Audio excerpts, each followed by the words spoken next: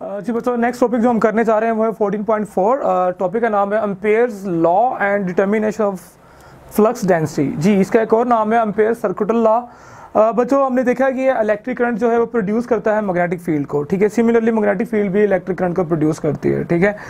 तो अम्पेयर ने जो है उस मैग्नेटिक फ़ील्ड को, उस मैग्नेटिक फ़ील्ड स्ट्रेंथ को, उस फ्लक्स डेंसिटी कह लें मैग्नेटिक इंडक्शन को जो था कैलकुलेट किया। उसने बहुत सारे एक्सपेरिमेंट के ही perform several experiments to find out the B ठीक है? जब वो ये काम करने में कामयाब हो गया तो उसने एक अपना लॉ बनाया, जिसको नाम देते हैं हम पेयर सर्कुटल लॉ का, जो कि पॉइंट आउट करता है हमें कि कोई भी करंट कैरिंग कंडक्टर है, जैसे इस डायग्राम के अंदर दिखाया गया है, इसमें से गुजरने वाला करंट जो है, ये है आई तो इस कंडक्टर के अराउंड जो है सर्कुलर फॉर्म में हमें पता है इन फॉर्म ऑफ़ लूप जो है, वो मैग्नेटिक फ़ील्ड डेवलप होती है। उस मैग्नेटिक फ़ील्ड को जो है, हम इजीली मालूम कर सकते हैं by using the Ampere law Ampere circuital law ठीक है? तो इसको हम कुछ इस तरह एक्सप्लेन कर सकते हैं। कंसिडर हमारे पास जो एक ब्रॉड है, ये मैंने इसे रॉड ड्रॉ किया हुआ है। ये एक रॉड ये वही डायग्राम है जो कि आपकी टेक्स्ट बुक के अंदर है। ये रॉड है तो इसमें से जब करंट गुजरेगा तो इसके राउंड जो है सर्कुलर फॉर्म में मैग्नेटिक फ़ील्ड डेवलप होगी, ठीक है? तो हमने क्या करना उस सर्कुलर फॉर्म में एक क्लोज लूप जो है, वो हम कंसिडर करते हैं। से कि इस डायरेक्शन में हमारे पास मैग्नेटिक फ़ील्ड है, ठीक है? अब उस क्लोज लूप को हमने स्मॉल स्मॉल पैचेस के अंदर जो है से डेल्टा एल जो है स्मॉल स्मॉल पैचेस के अंदर जो है हमने उसको स्प्लिट कर लिया। स्मॉल स्मॉल पैचेस में हमने उस क्लूप क्लोज लूप को हमने स्प्लिट कर लिया डिवाइड कर लिया और हर एक पैच को हमने नाम दिया है डेल्टा एल का, ठीक है? तो फ़र्स्ट में डेल्टा एल वन होगा, डेल्टा एल टू होगा, डेल्टा एल थ्री होगा। सिमिलरली हर एक पैच में से गुजरने वाली मैग्नेटिक फ़ील्ड जो है, वो हमारे पास बी वन होगी बी टू होगी, ठीक है? तो अंपेयर्स ने यह कहा था कि अगर हम इन दो चीज़ों का, इस पैच डेल्टा एल और उसमें से गुजरने वाली मैग्नेटिक फ़ील्ड बी का प्रोडक्ट अगर ले लें, यानी बी डॉट डेल्टा एल जो है, इस तरह के हर कंपोनेंट में से अगर हम इसको फाइंड आउट कर लें, यानी इसका हर कंपोनेंट जो है, इस क्लोज लूप का, जो कि around the current carrying conductor बन रही है, उसको स्मॉल पैचेस के अंदर डिसॉल्व करके उसमें हर पैच में से गुजरने वाली जो मैग्नेटिक फ़ील्ड है, उसको अगर हम मालूम कर लें तो हम सबको सम करें तो वो हमारे पास इक्वल आती है mu naught times to the total current enclose by that loop ठीक है?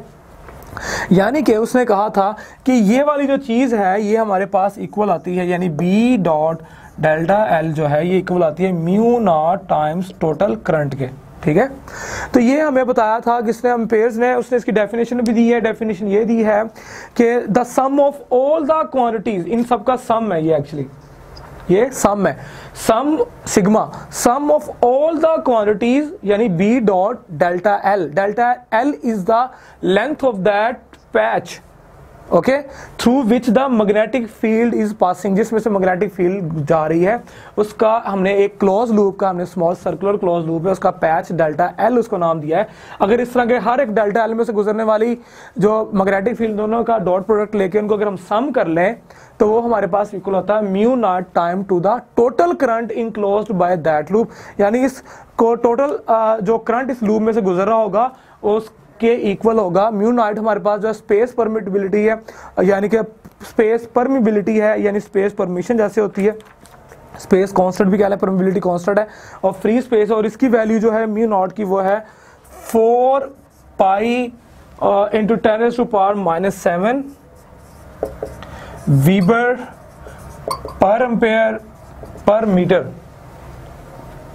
ठीक है? ये किसकी वैल्यू है जी? ये है value of mu naught space permeability mu naught जो है, जो यहाँ पे हमने यूज़ किया है। तो इसकी डेफिनेशन आपकी बुक के अंदर भी मेंशन है। Sum of all the quantities B dot at L through which the close loop has been divided is divided is equal to the mu naught times the total current enclosed by that loop. This is a statement this is a definition of the Ampere law Ampere circular law तो यहाँ पे अगर हम consider कर लें कि हमारे पास जो लूप है, उसको हमने डिवाइड किया small small patches delta L के अंदर और उसमें से गुजरने वाली मैग्नेटिक फ़ील्ड बी है तो हम इसको लिख सकते हैं इन वेक्टर फॉर्म बी भी magnetic field in vector form and delta L through which the magnetic field is passing also vector component जो कि इक्वल आती है हमारे पास B del L cos theta आ गए तो बच्चा कॉस थीटा जो है हमें डिफाइन करता है direction of the magnetic field B and through which the loop has been divided delta L यानी कि अगर इन दोनों के दरमियान एंगल जो है ज़ीरो डिग्री होगा तो इसमें से गुजरने वाला करंट भी मैक्सिमम होगा, यानी कि मैग्नेटिक फ़ील्ड भी मैक्सिमम गुजरेगी। तो ये 90 डिग्री, जब ये दोनों कंपोनेंट जो है पैरेलल होंगे, यानी जब ये दोनों एक ही डायरेक्शन में होंगे पैरेलल ही होंगे, इस तरह। यानी कि अगर पैरेलल होंगे दोनों कंपोनेंट ठीक है, यानी बी और डेल एल जो है, दोनों अगर पैरेलल होंगे तो मैक्सिमम मैग्नेटिक फ़ील्ड जो है, उसमें से गुजरेगी उस लूप में से, और उसका करंट भी मैक्सिमम होगा वहाँ पे। तो अब हम क्या करते हैं, हम इस तरह के पैचेस को जो है, देख लेते हैं कि हमने नंबर ऑफ़ पैचेस के अंदर इसको डिजोल्व किया है। पहला पैच हमारे पास है L1 दूसरा, यानी कि B डॉट एल वन और दूसरा जो है B डॉट L2 तीसरा है B dot L three plus in between हम ले लेते हैं B डॉट आर आर हमारे पास कोई भी कंपोनेंट होगा। And plus so on so on जो एंड वाला कंपोनेंट जो हमारे पास आएगा वो होगा B dot L into N ठीक है? तो अगर इसको अगर हम समराइज कर लें समराइज करके इसको हम लिख सकते हैं सम की फॉर्म में। समराइज करके इसको हम लिखें तो इसको लिखेंगे सिग्मा आर हमारे पास कोई भी नंबर ऑफ़ द कंपोनेंट होगा, ठीक है? आर्थ कंपोनेंट जो कि वन से लेके है, कहाँ तक? एन तक। और ये हमारे पास है जी B dot L to N और ये इक्वल आता है हमारे पास म्यू नॉट इंटू आई के। तो बच्चों, ये आपके पास आ जाता है जी वैल्यू और यहाँ पे लिखना चाहिए एन नहीं आना चाहिए, बल्कि और ठीक है। ये हमारे पास डेफिनेशन है किसकी एम्पेयर सर्कुलर लॉ की एम्पेयर सर्कुलर लॉ बताता है कि अगर हम डॉट प्रोडक्ट लेके बी डॉट एल का और उसके तमाम कंपोनेंट्स को अगर हम सम अप कर लें क्लोज लूप के अंदर क्लोज सर्किट के अंदर तो हमारे पास इक्वल आता है म्यू नॉट आई के।